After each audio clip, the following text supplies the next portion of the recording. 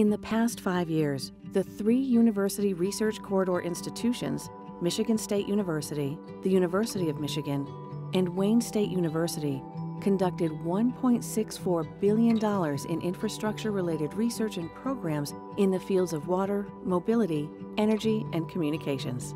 To highlight challenge areas and build new connections, the URC launched the Infrastructure Innovation Tour across Michigan. Five stops, five issues. With the help of researchers, legislators, and local government and business leaders, each stop explored regional needs, emerging research, and set the stage for future collaboration. In Monroe, algal blooms and microplastics threaten water quality, while new lead and copper rules challenge municipal water systems to find innovative, cost effective solutions. Rural communities like Sanilac County struggle to access broadband internet. Creative partners may help bridge the digital gap there and elsewhere. Sterling Heights attendees shared new ways to repair and rebuild roads, from funding partnerships and new materials to sensor technology and monetizing roadway data. What I liked about today was you're also adding the um, um, higher ed component and the research component into the conversation, which also I think has been really neglected over time. PFAS contamination threatens Michigan's drinking water. In Kalamazoo, cleanup discussions focused on data partnerships, groundwater models, and filter technology to capture and destroy these contaminants. There was a lot of brain power in here, and I think the more knowledge and the more collaboration of knowledge, the better we're all going to be and the better served our public will be. In Sault Ste. Marie, we unpacked the economic and environmental impacts of maritime shipping and how balancing competing interests in our interconnected system can yield better solutions and greater opportunities. I'm very appreciative of what URC has done for us here in the community and uh, what they're trying to do. And getting us all together is, uh, is an important aspect in that. And um, we will look forward to sharing information uh, both locally but getting information as well. University partnerships have yielded infrastructure products like bendable concrete, sensors for roadways, bridges and locks, filters to remove PFAS, and accelerated ballast tests for ships in the Great Lakes. Community conversations help understand research needs, build new partnerships, and provide insight for decision making today and tomorrow. Welcome, everybody.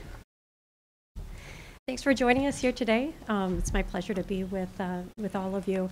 Um, and really, for the next uh, 30 to 35 minutes, uh, we'll be engaging in a conversation. Um, I'll be here as a moderator, but um, certainly we hope that this will engender just conversation among all of you. Um, so let's start with uh, real brief introductions. Uh, Peter Adriaens is with us today. He's professor at the University of Michigan environmental engineering, finance, and entrepreneurship. Welcome. Uh, next to you is Kerry Duggan, partner at Ridge Lane Limited and Ridge Lane Capital, the sustainability practice, and founder and principal at SustainabiliD LLC. Clever. Okay. And then um, next to Kerry is Carol Miller, who's a professor at Wayne State University, civil and environmental engineering, and director of Healthy Urban Waters. Hello, uh, Leo C. Kempel is Dean of the Michigan State University College of Engineering. And moving over to this side, uh, we have Dennis Sigru, uh, a professional engineer and also lieutenant colonel in the U.S. Army and a, a PhD candidate at the University of Michigan. Uh, Joseph or Joe Sawasky, who is president and CEO at Merit Network Inc. Welcome. Uh, Kirk Steudle, uh, Senior Vice President at Econolite Systems, and Eric Pardini, Senior Consultant at Public Sector Consultants. So welcome all of you. Uh, as you may have heard uh, earlier, um, when we are speaking, we have some microphones around the table, and you may just want to bring that closer. Take it off. Good. Well, um, I think to start, uh, I'm very interested to get initial reactions uh, from uh, from each of you. Just wondering what your uh, initial thoughts, uh, reactions are uh, from the takeaways that Brittany just shared with us. So, are there general uh, trends or themes that you're thinking of? In principle, there's a lot of infrastructure challenges across the state, and we know that the longer you take to work on them, the higher the cost is. But on the flip side, there's a lot of te- technology coming out. And so it'll be very important to blend the, the adoption of new technologies to kind of bootstrap going forward to fixing our infrastructure with the importance, of course, of doing it in a thoughtful way. Sure. Um, in terms of some overriding themes, I thought collaboration was a, a theme that came out um, certainly at the tour stops that I attended, and it sounds like the others that uh, related uh, here today. So collaboration, by that I mean uh, certainly among our universities, uh, which I think we're well on the way to having that, but also collaboration with um, the governmental agencies as well as the private sector, um, having those groups involved uh, at the table. I know that for water infrastructure um, in Michigan, there have been a lot of advances due to the fact that our universities are working with the water utilities, whether that be GLWA here in the Detroit area or um, I know the University of Michigan is working very closely with the Ann Arbor Water Utility and, and so on. So I think those sorts of um, collaborations, getting our expertise actually out in the field, internships can help a lot with that also. So just a broader theme of collaboration, I think, is very important. echoing that whoa i'm loud um, echoing what i heard here because i think sometimes the points that britt was making about collaboration and engagement are throwaways and um, my previous experience tells me that they're in fact not throwaways i spent a good deal of time embedded in city hall here in detroit on behalf of president obama and former president biden vice president biden and um, that taught me a lot about listening which britt mentioned uh, providing capacity, literally being the capacity uh, at a time when the city was really um, struggling to have the capacity needed to leapfrog its infrastructure, um, and then providing technical support and additional financial resources. And um, that was the biggest lesson I learned from that, and I think it's directly transferable to no matter if we're talking about energy, water, transportation, or the built environment. Um, so I would just echo what what you just said about um, engagement um, and collaboration, which is indeed a contact sport. I'll take this mic. I think there is uh, something missing from the takeaways. And uh, I direct a center on infrastructure finance at the University of Michigan, actually in the College of Engineering. And very often in the conversations, wh- wherever you were in the state, I wonder how many public finance managers, partners in public-private partnerships, and others were available. Because the biggest, one of the biggest problems is the infrastructure finance gap, right? There's a lot of needs, there's not enough money. I mean, that's the bottom line. Most of the infrastructure that we have in the state, the legacy infrastructure, is financed using a financial instrument that is essentially over 200 years old. And that has been modified a little bit. I'm talking municipal bonds and a little bit of loans mixed into that, and that's where you get your infrastructure. As you think about infrastructure innovation, we have to think about financial innovation too. And in fact, when you sort of go around the country and you know play around the financial uh, uh, system a little bit, there is a lot of uh, conversation now around industry 4.0 meets infrastructure. So basically, how do we start integrating smart infrastructure systems, the data plays in unlocking new kinds of money that here too were not involved in infrastructure finance. And this is efficient capital. This is where the insurance companies come in. This is where new debt securities come in. I don't want to throw all the terminology out there, but there is a lot of money that has never played in infrastructure. Pension funds nationwide, only 1% of pension funds are committing any dollars to infrastructure. And a lot of that is because of the way we design infrastructure. So, infrastructure design and infrastructure financing are actually directly linked. So, you sort of get what you can finance, or you finance what you can get. You know, so we have to, so the two of them are actually working in tandem. And I think that's a big part of the conversation. Maybe even a question, maybe too early here, but did, yeah, whether that even, I mean, just to, to plant the seed then, whether that even came up at any of these stops in your tour, uh, uh, where, I mean, where the financing model sort of, where financial issues came in. It, it actually came up with your colleague, uh, Jerry Lynch, at the Sterling Heights. Yes, you, he had a perfect slide dedicated to you. So.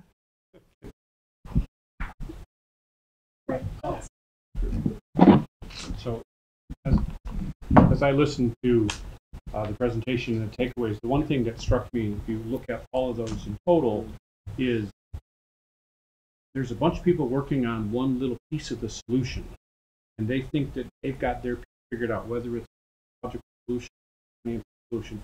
Big takeaway is they've all got to be balanced, whether it was the mm-hmm. engagement of the community, whether it was to look at the, the economics of what you're doing, you have to look at it in totality and, and pull all of those pieces together. Because you could have the best technological solution that nobody can pay for.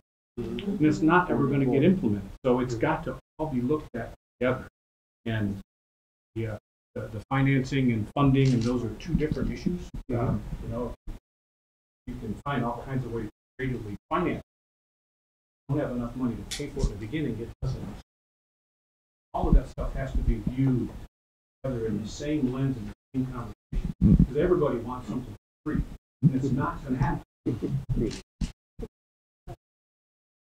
Really quickly, uh, one of the things I found uh, is a theme in these stops is that you can't do it alone, right? So building on Carol's point about collaboration, this is a motivated group of they want to invest in their they don't look at these things as expenses, look at them as investments in sustainability and viability of their communities. And uh, boy, they're motivated and uh, they've got a lot of skin in the game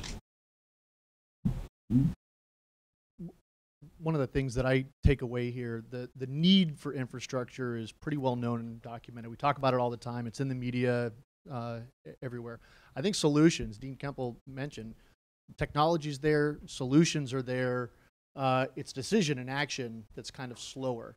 And, and I think to Peter's point, the understanding of the value that infrastructure gives and being able to balance cost and value, not just for um, the community, but for the, the, the greater stakeholders, those, those financial arms uh, th- that we describe.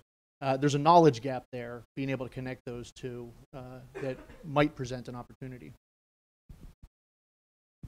Yeah, I also had an observation to add, and building off of this collaboration, um, I think the the way that this has been brought out into communities, it shows that um, this is a really an opportunity to take advantage of those first movers and to get to a point of scalability through communication of success stories. And so, how are we leveraging the the partnerships that are built through tours like this to say, hey, I've got something that works in my community because each community is dealing with their own infrastructure problems across the state. And you know the the water example from western michigan i think has a lot of implications as we're only discovering the early instances um, around pfas contamination. And so we're just sort of on the leading edge there. Thank you everybody. This will probably be very frustrating because we'll just want to dig into all of these um, with more time than we have.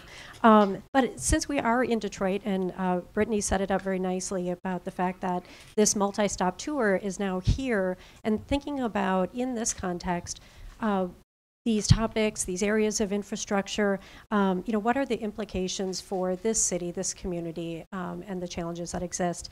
Um, and Kerry, I'd like to draw on your experiences of working in the city on these issues what are your thoughts on uh, priorities, uh, opportunities that exist um, in terms of addressing infrastructure ga- gaps in Detroit? Great. Well, I guess I already said what I used to do, so that's not a secret. Um, I spent a lot of time.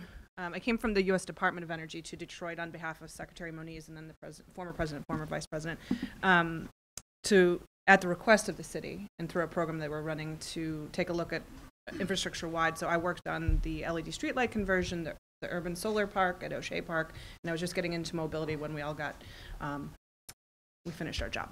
So, um, looking at Detroit today, um, for me, the frame I have is about honestly site selection and competitiveness for this city and this region. So, I don't take any of the individual infrastructure problems alone. They're, they're all connected energy, water, um, transportation systems, accessibility, they're all interrelated, and, and the built environment. We have a lot of challenges. Finance is certainly one of them. There are regulatory and policy roadblocks to residential upgrades, for example, um, that we need to overcome. But for me, I look at it from a, a lens of, you know, climate impacts. This country faces billion dollar disasters every year. That's not going to stop. So how does Detroit position itself, indeed leapfrog into the state of the art, using the great minds that we have in this room and at our universities? The strength of the URC is something that should not be taken lightly, but it's not sufficient. We need to bring in other regional partners, our national laboratories, for example. And then, frankly, this is an opportunity to create a virtuous cycle. I talk about competitiveness. You want your alumni to come back and live and work and play in uh, these communities. I did that. I chose to come back, but not everyone does. Um, so uh, I would just ask that, that this brain trust continue to grow, um, that this table that Brittany is, and the team has put together um, be steadfast and continue because that's frankly how we did the work. When I was in service, we created a table, brought every relevant agency to the table over six and a half years. I'm very proud of the work we did, but it's uh, persistent, painful, and you have to bring new partners to the table. Sorry, I, I will give the mic back now. Thank you. I like that virtuous cycle.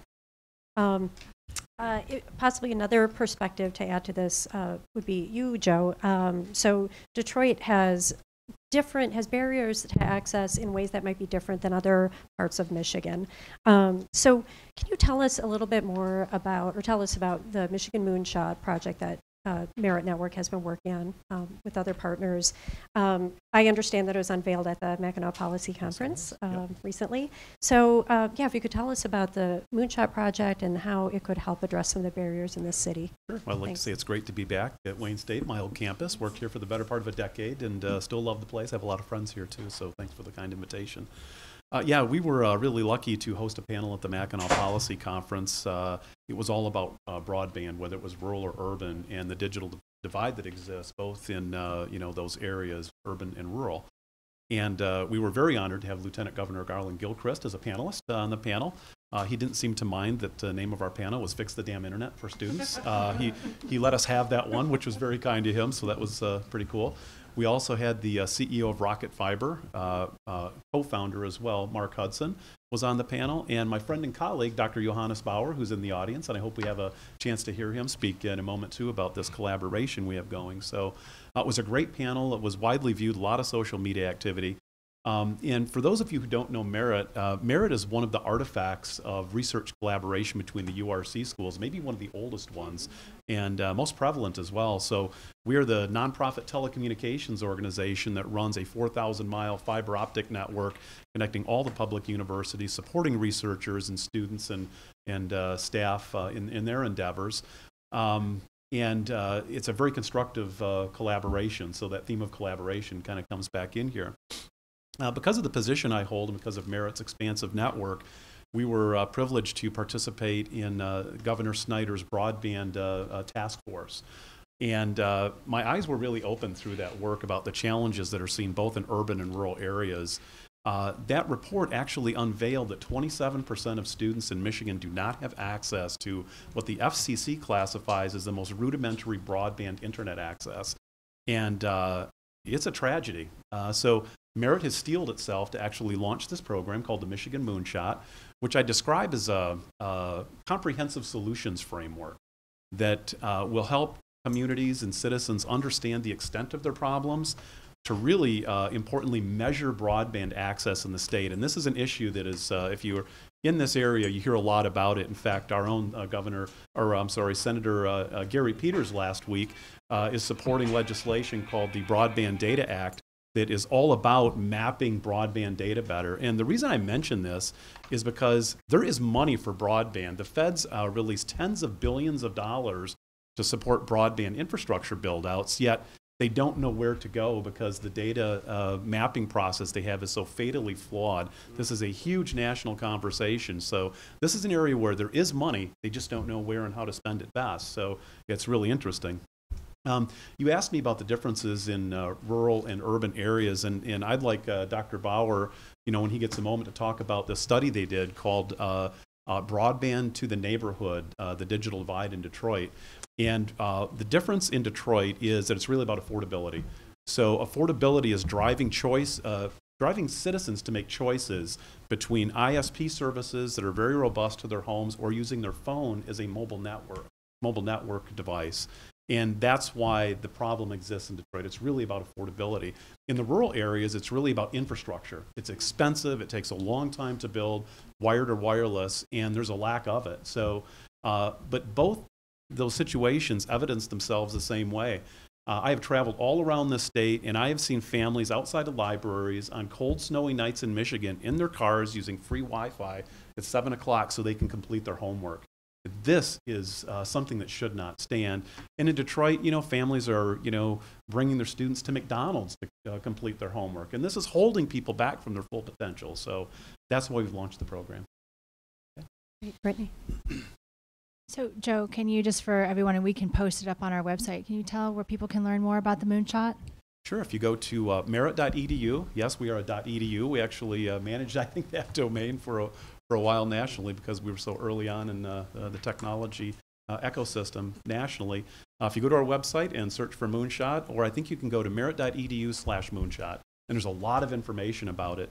And I will say, Merit is launching Michigan's first broadband summit uh, in September where we're trying to get communities and stakeholders and providers together to collaborate and share information. So I'll do a little plug there as well.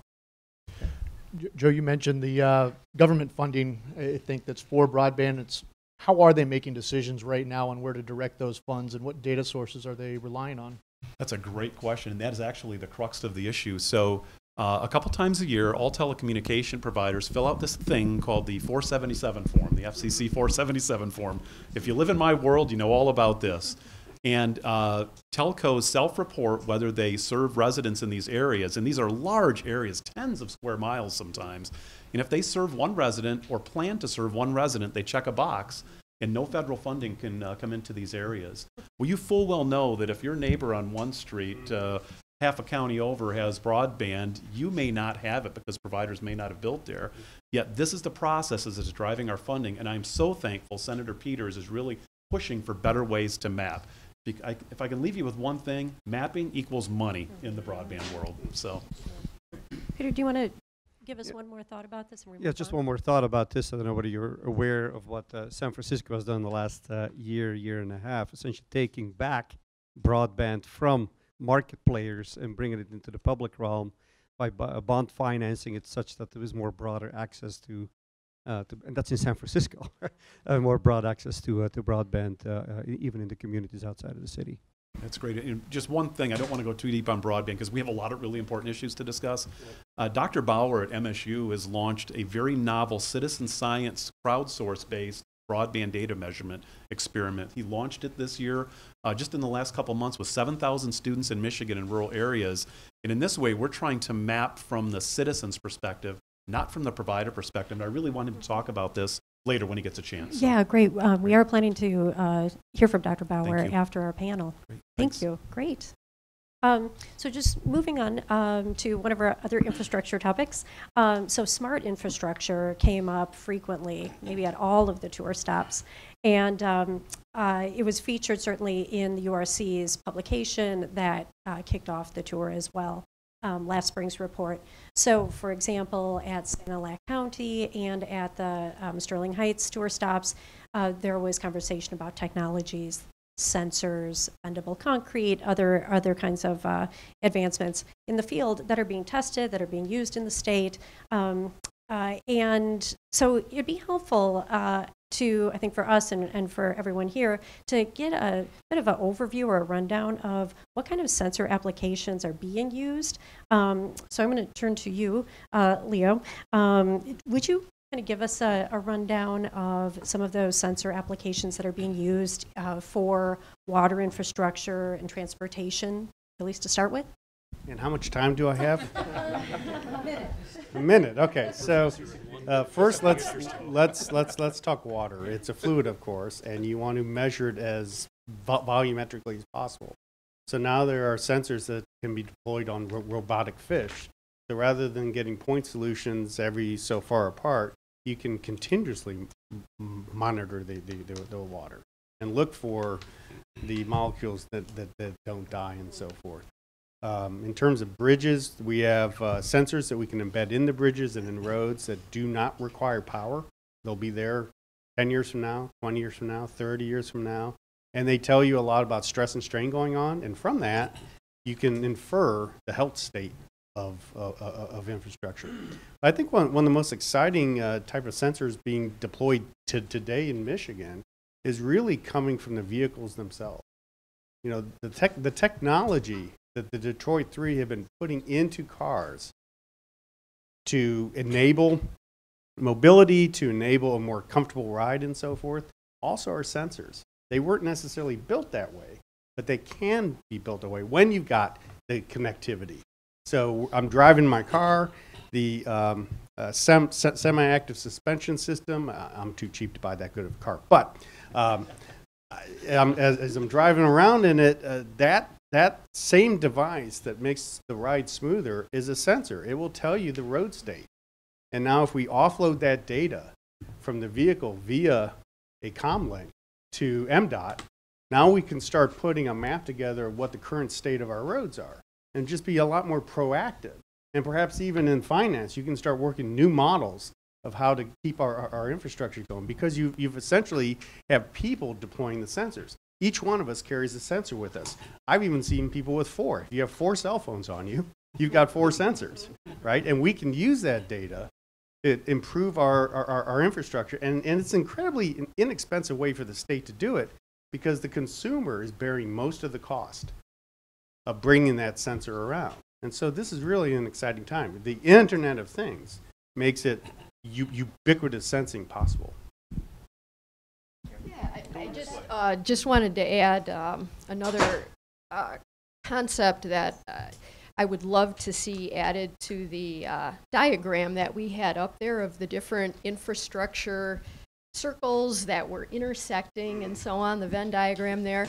Um, I'm not sure whether it would be overlaid or another circle, but but the whole health um, and uh, you know infrastructure. We're talking about infrastructure health as well as many other aspects of infrastructure, but then human health and uh, environmental health and so on. So so the sensors that we talk about, you know, we th certainly there are many sensors out to um, help us with asset management, with infrastructure, and to determine the health of the infrastructure and so on. But obviously, there's tons going on regarding um, wearable sensors for human health. And the relationship between our infrastructure and the health of citizens uh, in different places and so on, I think that's a very important connection that is obvious, but we all need to make, and I think it's also a connection that can help with some of the finance issues. Because in terms of going after financing, one thing that I found is that a lot of times people aren't too interested to hear about gray or green infrastructure, but when you start telling them about the impacts of poor infrastructure and the health impacts, that's when you start to get some real um, buy-in and some real understanding. Uh, so just uh, one point that I wanted to make regarding the health and keeping that in there. I'm just going to weigh in that I am excited about green and gray infrastructure. So, so just quickly going back to my earlier point on um, not just isolating a singular type of infrastructure. Um, as it relates to sensors, thinking about things like the LED streetlights in Detroit, the sensors that could or may be attached to those to study things like air quality in some of our hardest impacted communities, as well as supporting an autonomous future. Um, these may require new um, partnerships, like I was saying before. Um, so I, am not ignoring, I'm not going to get technical, that's your job. Um, but I, I do think that um, bringing more folks to the table to support these sort of P3 opportunities is important you know, wanted to amplify what uh, Carol said before, I guess, on the financial value. I mean, you think about it, sort of sensors, whatever sensors they are, whether they're in roads, in water systems, in energy systems, uh, in, in water systems or whatnot, they are they make up the, they make the difference between a cost of infrastructure and value of infrastructure. And Dennis brought that up earlier too. So the whole value of infrastructure is really the, the informational efficiencies, I guess, that get unlocked from, from, from infrastructure by sensors. And that, that piece of the whole digital asset, the digitalization of infrastructure, is really where the attractiveness is, I guess, for new folks, I mean, be they P3s or others, to sort of come into infrastructure, because that makes it different from what infrastructure was 20 and or even 10 years ago. Thanks. Um, so during the tour stops, we learned that MDOT, the Department of Transportation, has really been playing a crucial role in helping to develop some of these technologies and testing them out in the field. And uh, Kirk, you had a um, previous role uh, leading that that agency for many years um, and helping to move the agency toward um, that that uh, uh, technology focused um, approach. Could you talk a bit about that role that MDOT has played and is playing in testing and, and developing these kind of technologies? Sure. So first of all, you could you can appreciate the fact that uh, any public agency has huge pressures to just fix today. Right. Right now, it's just fix today, and I maintain for a long time, still do, will do forever, that if you just rebuild 1970, then you're mm-hmm. stuck in 1970, right? And, and we're not doing any favors to our kids or grandkids if we rebuild 1970. So while we are rebuilding, we have to be looking forward.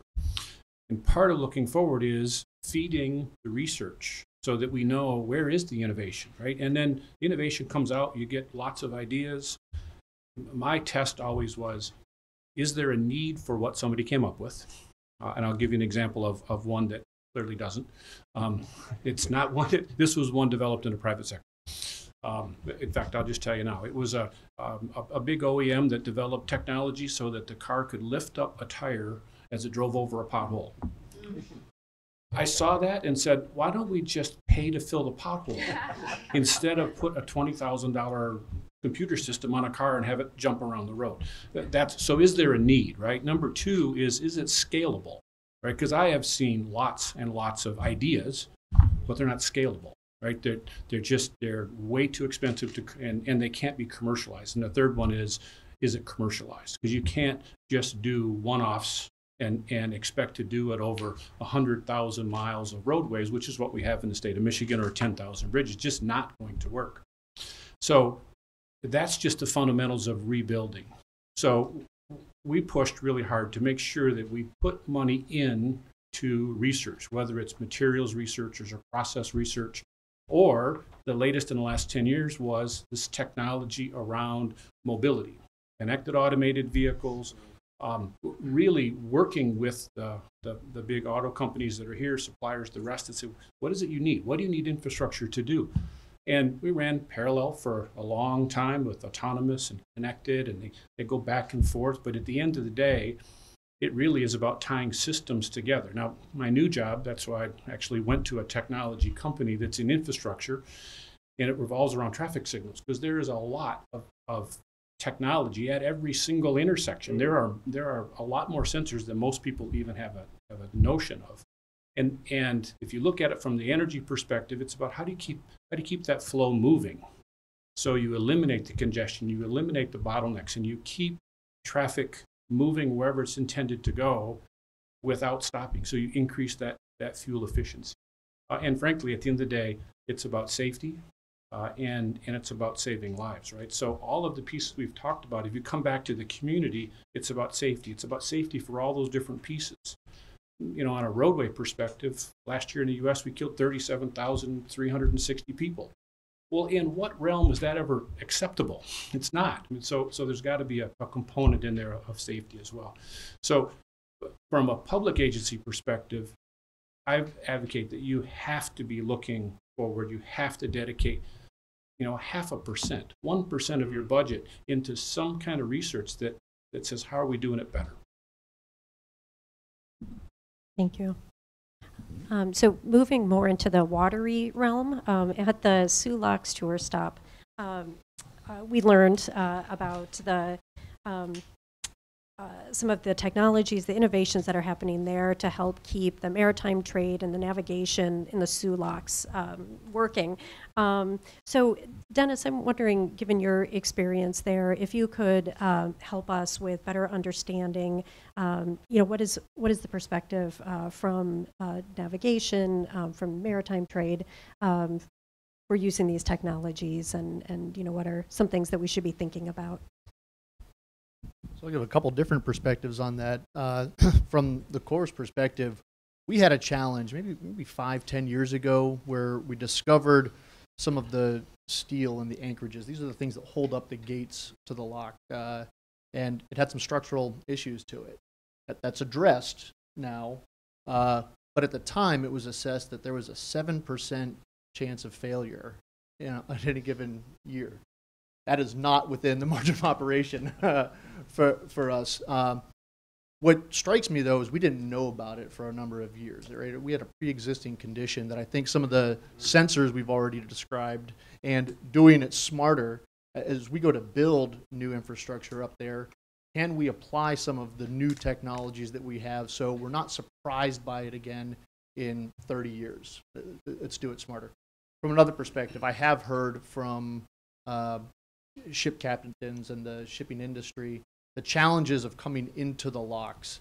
It, it, may not be obvious, and I don't know if anyone's been up there and, and seen a ship go off course and strike a wall or uh, strike another ship. It doesn't happen every day, but it happens periodically. And the reason is there are some really tricky currents and hydraulics uh, flowing through there. Uh, can we employ some sensors that provide real time feedback to the captains that allow them to make that adjustment approaching the lock. I think that technology exists. It sounds uh, very reasonable. Closer to home, closer here in Detroit, we have uh, ice dam conditions that pop up periodically, especially along Lake St. Clair, uh, where, where we get the ice floating down, creating a dam, and flooding coastal communities. And we have come up with techniques to sense the difference in the lake levels uh, in Lake Huron and then downstream in Lake St. Clair. Uh, and, and, where we see a, a, disparity, you see an anomaly, you're able to get the Coast Guard out there to, to clear it out. It reduces it a little bit. Um, but I, I, think, again, there's probably an opportunity in areas like that to, to do better, do more real time. Uh, last year was, was one of particular challenge. Um, so, so those are three that jump to mind. Uh, another, and I'm unsure what what the problem that needs solving here is, but those ships have sensors on them right now. So access to the data again that we've described already. How are we using the information that's already out there to make smarter decisions? Maybe we're making uh, fewer delays at the port. Maybe we're making uh, um, a more refined schedule of ships coming through the locks or through the other connecting channels, of the Detroit River and such.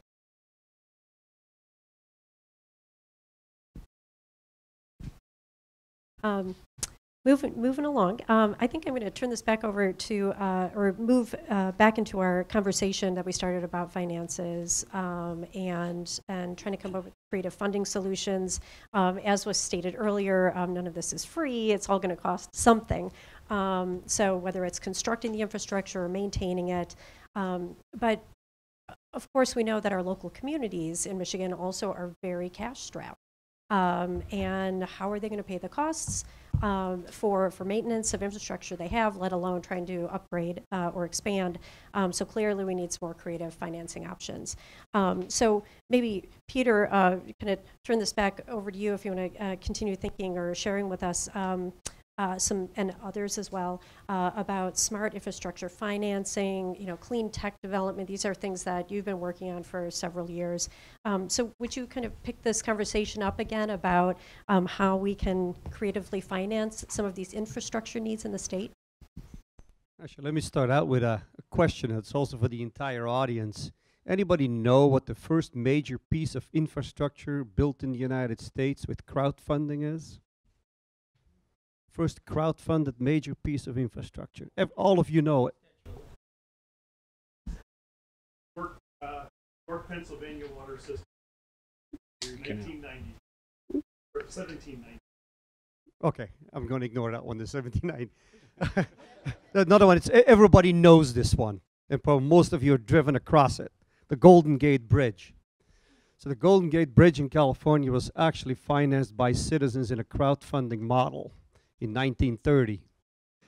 Since then, of course, I mean, operations and maintenance require new types of financing models and P3s, and you know, I mean, now you pay your fees to get across the bridge and all of that. But we can never say, to your point earlier, that when you have impassioned and empowered citizens, they can build a nice piece of infrastructure. It's possible. So, coming to uh, uh, the, the 2000s and uh, I mean, the, this day and age, when I talk to communities, one of the things I say, you guys got to learn how to play the money ball game. Anybody here seen Moneyball? If you haven't, see Moneyball. Oakland A's, right? um, so the whole idea behind that is, and, and it, it makes it, it's very salient to the conversation on smart infrastructure and how you finance this. So how do you build a world-class baseball team on a fraction of the dollars that you got available? They essentially were a poor baseball team, right? They had no capital, they couldn't afford the $300 million players, right? Had 15 million. And what are you going to get for 15 million? Well, they looked at all the data of all the different players. How did they throw? How efficiently how they threw, their underhand to throw, overhand, I mean, all sorts of things. Right? So look at the data and basically said, I think, you know, even though he's an odd duck, I mean, on a game, he actually completes, you know, and actually allows us to, uh, to have home runs and whatnot. We're going to buy he's undervalued by the market, but we're going to pay him 15 million and we got a world-class team. Of course, it only lasted for two years. We want our infrastructure to last for longer than two years, right? So now go to DC Water, right? So DC Water, a public water authority, I mean, it's the first experiment with a new financing model, right? A variable interest rate bond, or call it an, uh, an impact bond. I mean, there's all sorts of language around that right, which is essentially a new, the, the first model by a public agency to actually incorporate operational data and inform the financials. So here's, here was the choice. Either we're going to put a $2 billion pipe in the ground to convey our water and our overflows, or we're going to build green infrastructure above ground for 350 million. 2 billion, 350 million. To a community, to an agency, big difference, right? So, of course, the, the, the, green infrastructure or smart infrastructure is a new thing, and anything that is a new thing carries risk, right? So, in order to finance 350 millions instead of a pipe, which we've been financing for hundreds of years, right? So they needed to actually then provide uh, the the investors with an incentive. So here was the incentive.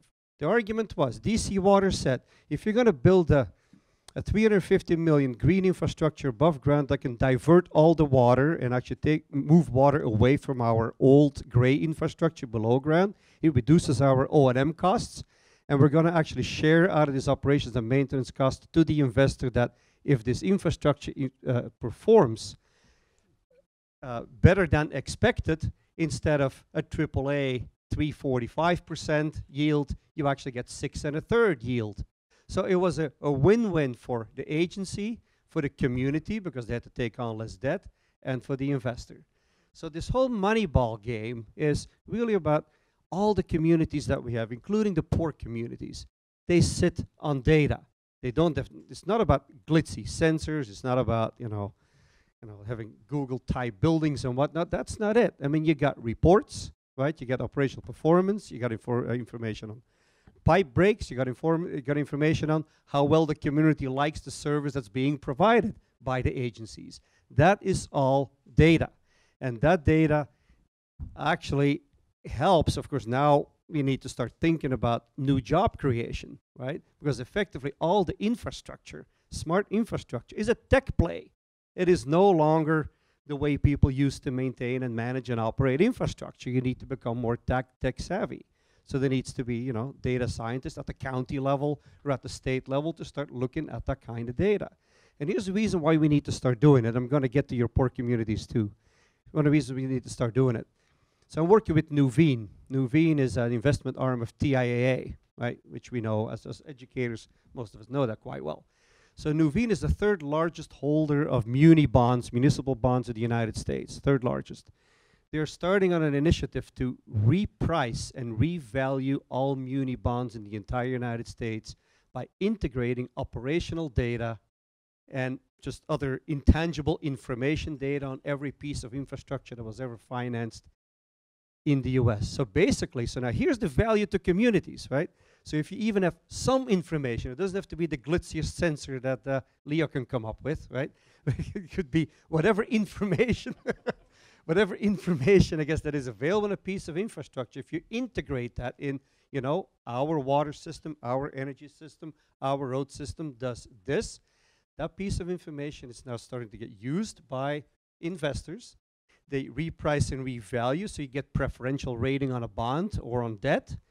preferential rating on bond or debt means reduced interest rate means lower cost of capital to the community, right? So it is it's a whole trickle down effect from information to cost of capital. And which public finance manager does not want to have low cost of capital and infrastructure? I mean, find me find me any of them. so, So now regarding the, the poorer communities, uh, we have a lot of conversation around that because once you have a smart infrastructure system, the whole, I would say, financial model kind of changes. I mean, think about a bond, a traditional bond, you issue a bond, say, on a road, on a water system, or whatnot.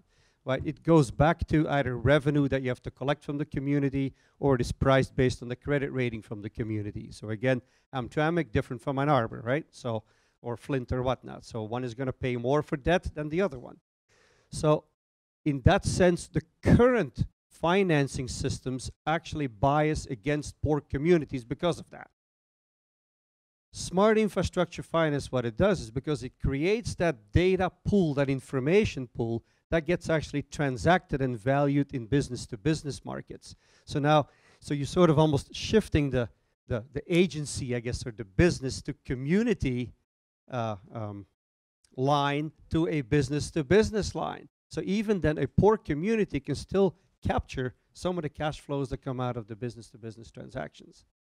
But th this is a whole shift of thinking, I guess, around how we think about infrastructure systems. But hey, if the big investors are starting to think about pricing muni bonds that way, we better, it's already happening. This is not a new thing. It's it's been happening, and we have to sort of get a, ahead of that eight ball. Uh, and I think there's a lot of opportunities and a lot of educational opportunities as well, which is why we're launching a new Master in Smart Infrastructure Finance at the University of Michigan in the College of Engineering. So all the design engineers and everybody else can take it and, and learn about these new financing models. Thank you. That was my, my little plug for today. Thanks, Peter. Um, uh, do we have any more, a couple quick points on that topic? So just to pile on a little bit here, da- data has value. And the data will be present in the communities, it'll be present in MDOT and so forth. And so I would, I, I would look at ways to get the American private sector involved in building out our infrastructure with access to data. But as part of that, when we make foreign mil military sales, typically, sir, there's a provision in there for us to source some of the materials in the host country. And that's part of the, the deal. Well, we could have a deal where to get access to the data that MDOT has and so forth for a fee, right? They also have to provide infrastructure dollars to expand out into the poor com communities because data has value. And that value will only go up over time. So I think that's part of the, the creative solutions. And that's a role that the private sector and government and, and the, the, the, the, the universities can, can play in. Yeah, if I can quickly, I, I, I, think that's where the knowledge gap is, though, because we don't understand that value, and therefore it's difficult to identify those win-win-win opportunities that Peter described. They're there, but we've got to leverage the data in order to understand the value. You know, Elizabeth, just quickly to, to Dean, Dean's uh, point. Uh, so the company that I work for has one third of North America's traffic signals. We have data on 100,000 intersections. Um, we can't get all of it because some of the technology is old, but we're in the process of getting that. What we've struggled with is okay, well, now what value does that have, right? How do you monetize that? So that's one of the things that we're, I'm, I'm really interested in your the uh, smart infrastructure finance piece because it's that's the conversation people have now. How do you monetize what we have? We've got we sit on a whole bunch, but mm-hmm. who's it of value? You know, who wants it and who wants to pay for it to help build the rest of it? I don't want to hog time here, but just to answer that particular question, there's sort of mainly three buckets that people look at in terms of data. And the, the first bucket is the one that we've always been looking at as an infrastructure is how do the data inform or improve our operations and maintenance. That's the first sort of bucket of data. The second bucket of data is the equity value. So basically, how does the data inform you know, the, the, the equity appreciation, I guess, if you will, of infrastructure within a community. And that, that includes a lot of intangible data. That is anything from carbon reduction to happiness in a community to, I mean, all these other factors and whatnot. And then the third piece, that's, and that's equity. And equity is not transacted. So equity is just appreciated in a, in a market kind of valuation uh, uh context.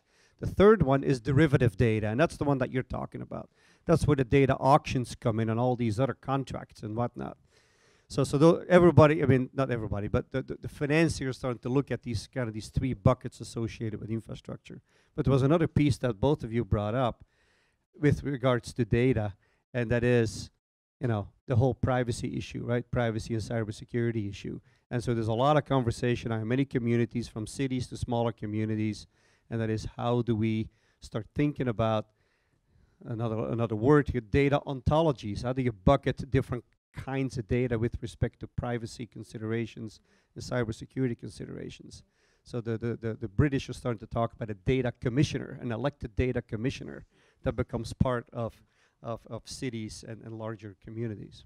This is fascinating, and it'd be great to just be able to talk about each one of these for, for an hour or two. Um, we want to be opening this up to uh, general Q&A uh, with the group here. Um, and uh, I think we have a, a couple of uh, people here um, with us today uh, who we'd like to call out in particular. Uh, and one of those people is, um, to turn around here, from Michigan State University, he was mentioned earlier, um, but he is director of the Quello Center uh, at MSU, Dr. Johann Bauer. Um, and you had a nice uh, introduction earlier, so I'm not going to repeat it, but if uh, you could share with us uh, a little bit more about the work that you've been doing on the moonshot and yeah. other work. Yes, uh, my pleasure. Good afternoon, everybody. Um, let me say maybe a sentence on the center that I'm currently directing. It's called the Quello Center for Media and Information Policy, which gives you the scope of the work we're doing. Jim Quello used to be a, a commissioner at the Federal Communications Commission. He was from Detroit. He served for almost a quarter century at that commission, was a very impassioned uh, public interest advocate, and he always was working for on those sort of uh, um, bipartisan solutions that would really advance the public interest. So the center tries to do theoretically rigorous work that is practically actionable. And sometimes, you know, it's difficult to reconcile those two, but that's our goal. And I'd like to sort of briefly mention, because this was, uh, was uh, alluded to, uh, two pieces of work that we did. One was in the city of Detroit. Now that study uh, has been read like a Rorschach test by many people, right? I mean, you, you, it's a nuanced, uh, nuanced piece of work, and, and you, you emphasize different aspects of it. Uh, essentially, what we found are three things. This was actually done by my predecessors before I became the director of the institute. One was that uh, indeed connectivity is not the primary issue probably in many Detroit neighborhoods. Although I should say this study was limited only to three of those. Uh, Cody Rouge, uh, I think this neighborhood, uh, seven, eight mile Woodward, and then I think uh, Milwaukee Junction were the three neighborhoods. Uh, but in those, its representative was, was done in uh, co collaboration with Wayne State University, a survey of people plus focus groups. Um, ho however, households are underconnected. That there's no way not to see this, right? But they're very creative. Like the bra strapped model also is very, very widespread. But they they find ingenious ways to find connectivity, whether it's through the neighbors, piggybacking on, on on others, going to coffee houses, and so forth not the best way to really take advantage of these technologies. The second uh, thing we found is that, that th the myth that broadband is used for entertainment purposes is completely wrong. Entertainment was, was the number eight or number nine uh, type of uses, among others. It was job seeking, information seeking, health access to healthcare information, and so forth. And then lastly, we did find uh, evidence that, that there was indeed an affordability issue. Right? And, and the cost of, of getting broadband uh, in the city of Detroit is actually comparable to mid-income uh, countries, globally speaking, and that's relatively high. Right? And so something has to be done on that regard. Uh, and then the second one, uh, sorry that I'd like to mention briefly because I think it, contributes to this discussion is, is the one that Joe already alluded to. It's that uh, related to the Moonshot project. And, and that our broadband data is inaccurate has been known since the NTIA created the first map about 10 years ago. Right? And it's, it's a statistical attribution rule that they used for simplicity that led to an overcounting uh, of connectivity. And so there's many, many efforts around the United States currently to improve the data, the quality of the data. But there's one big flaw of this data, all we do by, by looking at speed measurements, for example, is we look at those who are connected. We have no clue what happens to those who are not connected, right? So we figured we can, of course we would like to know how big the quality, good the quality of connectivity is for those who are connected, and that's what the the crowdsourcing technology-driven model that we built, a platform to measure uh, internet speed and internet quality, uh, primarily initially with uh, uh K through 12 uh, students uh, on on a pilot basis together with Merit Networks. But we also uh, built a second parallel study that looks at uh, a survey-based study in classrooms with the same schools. And we found very, very uh, ingenious ways, we, we, think, to, to be able to connect those two data sets without violating any privacy issues. They're completely identified data. We use like a data trustee model that eventually will allow us to link the, the survey data with the accessibility data. And for the first time, we'll actually be able to tell what the consequences are of, of, of poor quality connectivity or no connectivity at all. And when we talk about infrastructure, part of the cost is, is actually what kind of infrastructure do we envision, right? And we cannot answer that question realistically unless we know more specifically what the benefits or the harms of not having access to infrastructure is. And, and we think that our work uh, will enable us to answer those questions um, in a more robust and more meaningful way so that we can find least cost solutions to really fix the problem going forward. So in a nutshell, maybe more than Thank a you. nutshell, but that's, that's what we do. Wonderful, thank you. Um, also, I'd like to introduce uh, Wayne State University's Vice President of Research, Dr. Stephen Lanier is here.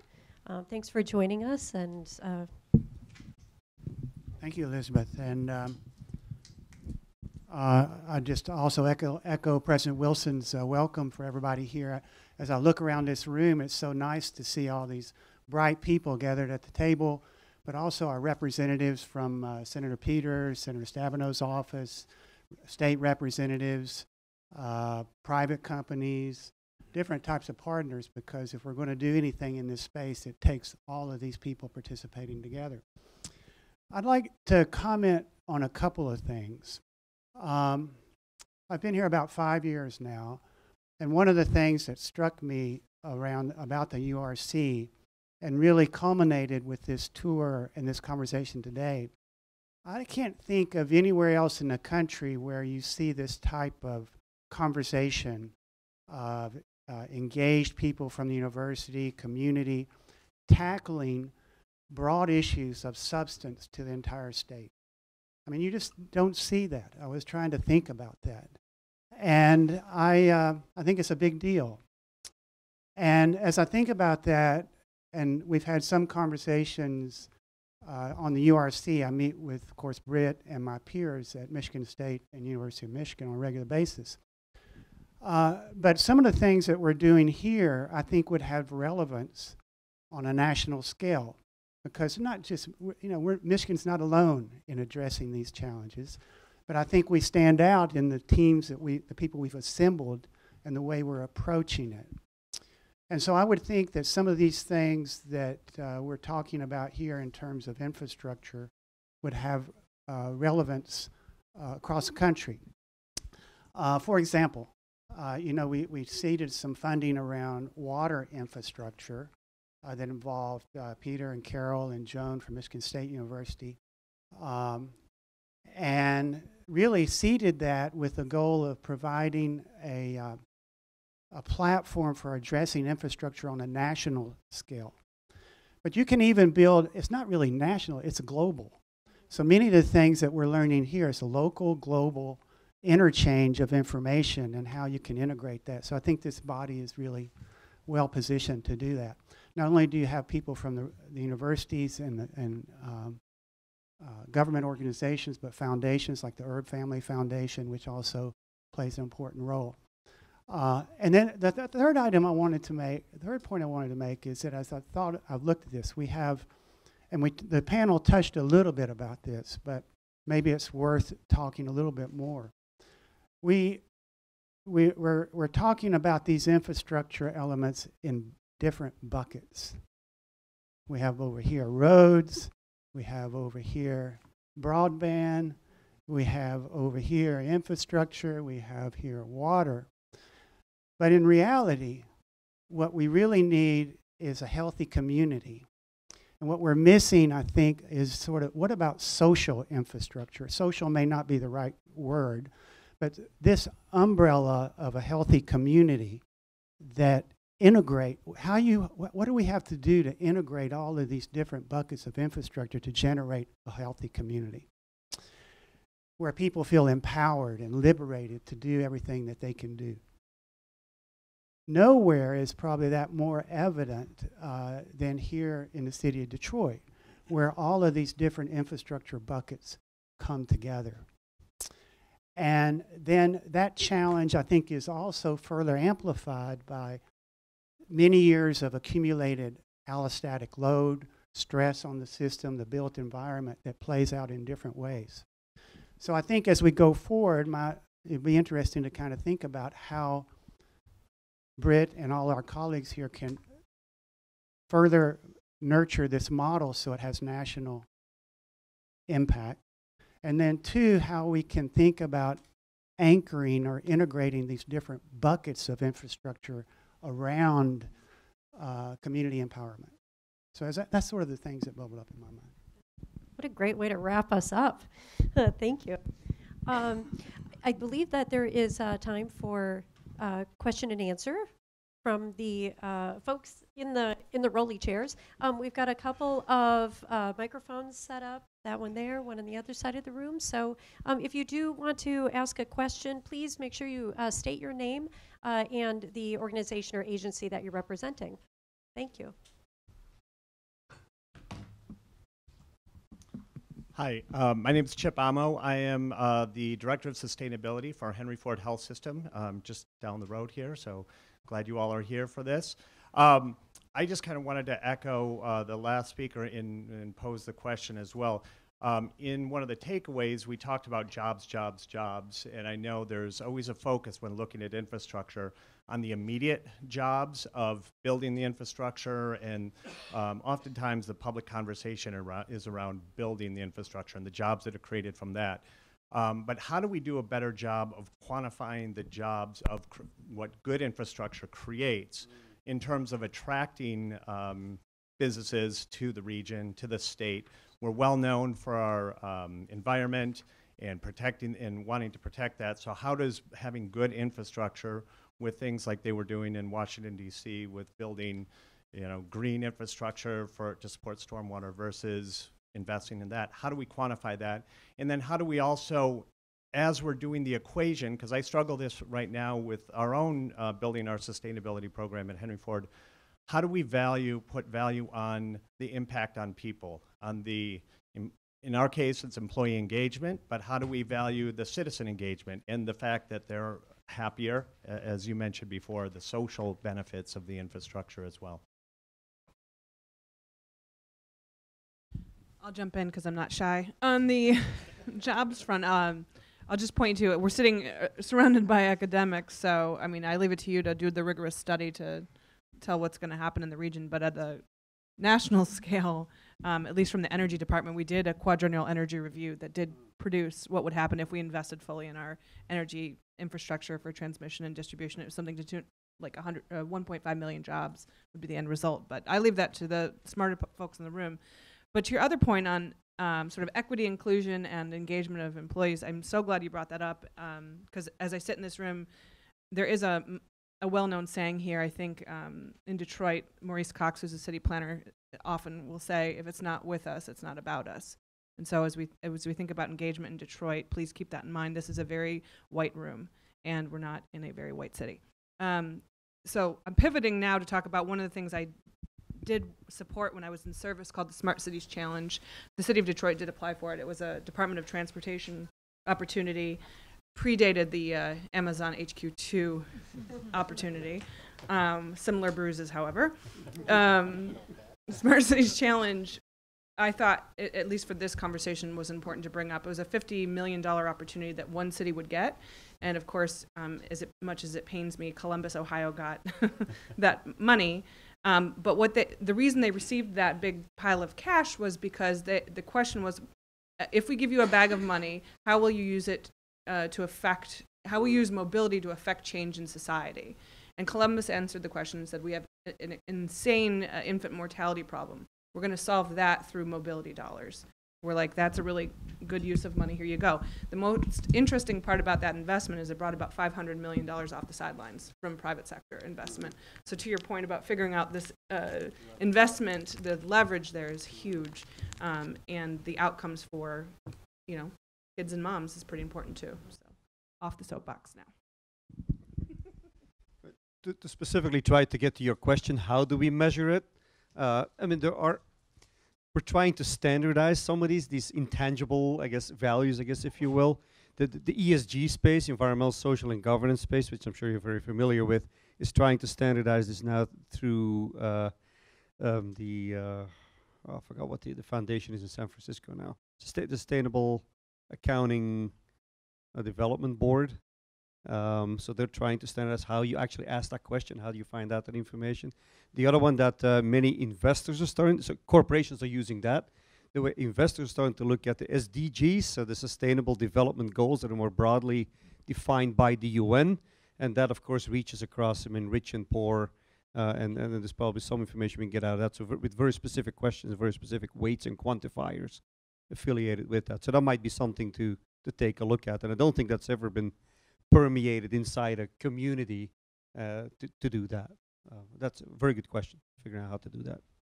So I'm in, an engineer, so I deal in data and, and results. And so we have to be in this for the long haul. Short-term measures won't tell us where you're going. You have to look long-term. The competitive advantage for Michigan is the quality of life here. We all use it. When we recruit people to the universities, when we rec- recruit people to companies, we use the quality of life as the reason someone wants to move their family here. And so long term, we have to keep playing on that. We got to keep showing that that the infrastructure improvement in Michigan leads to a quality of life that makes a competitive advantage for Michigan, particularly over the West Coast and East Coast, because that's who the competitors are in a technology environment. And there's no reason that Michigan cannot lead in tech technology. We've got all the pieces and parts, but we have to show that the quality of life here is so much better. And I think it's a com- compelling case. We have, um, if there is one more question, a, a brief one, um, we can take it. It's not the question, Okay. Mike, it's the answer, Mike. Questions are all brief. My name is John Norton. I'm the Director of Energy Research and Innovation for the Great Lakes Water Authority. Peter was on my doctoral committee, so if I sound belaborous, there's the reason. You just won Jeopardy. You did. and Jerry Lynch was also on my doctoral committee as well. I there's something when I've been at about a half a dozen of these. We're funding about one and a half million dollars worth of research a year. Very applied, very applied, very applied, and then a few actual fundamental pieces with Wayne State regarding PFAS. But here's something I want to talk about. When I wander about our facilities, so earlier today I was at the largest wastewater treatment plant in the world, and that's kind of cool actually. You can I brag about that. I got married last week and we toured the one on Mackinac Island because that's what you do with your wife. um, but the, the and a lot of the universities when they have these meetings, their infrastructure and there's innovation, and those are cool. I'm an engineer too, you know, but here's what a fundamental need is, and this fundamental need is something that the people that finance this stuff can deal with, and it's not more research. I have a PhD, I've written papers. I'm telling you, that's not what we need. When I go around the water treatment plants and our wastewater treatment plant, we need the vocations, we need the trades. And so we're right now, I'm working with our department, or our, it, it- we call it OD, Organizational Development. It's our HR group to help figure out how we can train our employees better. That's where some of my research money is going to be going next year. And it just was a sudden smack in the face to realize after going into the schools, the high schools, which I do quite a lot with my wife now, who's a professor at Illinois, um, these kids aren't getting shop or electronics. And, well, what do we need to keep Waterworks Park running and the Rouge River wastewater treatment plant running and all that? We need water treatment operators, but we need a hell of a lot of people with hands-on skills in electronics, plumbing. I'm a director. Our head, our, our top master electricians and our top master plumbers earn more than I do. They're putting a lot of overtime keeping those water plants going when they have trip breaks and whatnot. They're earning good six-figure coin. Let's go around Detroit and see how many people would find that interesting. Hey, I talk to people. Are you going to college? You in college?